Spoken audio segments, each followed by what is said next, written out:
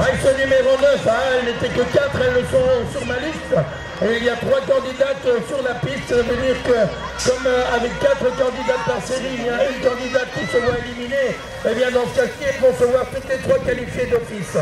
Nous avons considéré ceci comme des tours de choses supplémentaires et vous dire malgré tout que c'est Egoyard, Nora de la Byzantine, qui occupe la première position devant Mariana Aubry pour le club de Troyes. En deuxième position et la troisième position.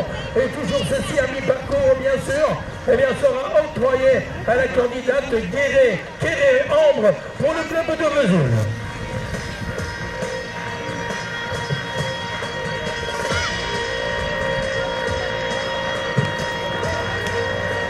Nous passons à la catégorie des cruisers 1. Et là, vous effectuez votre manche cinquième épreuve de ce championnat.